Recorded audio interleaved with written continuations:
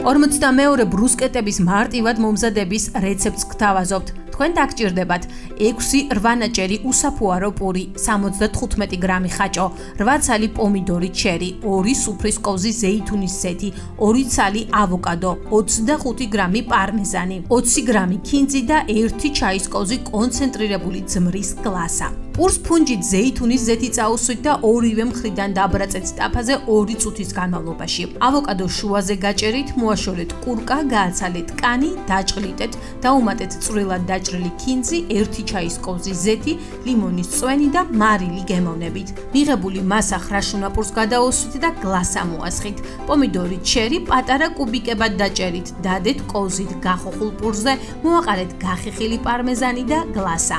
ხაჭოც ასევე მოათავ გავსეთ გახუხულ პურზე, მოაყარეთ გახეხილი პარმეზანი და მოასხით კლავ გლასა. თქვენი ბრუსკეტი მზადაა.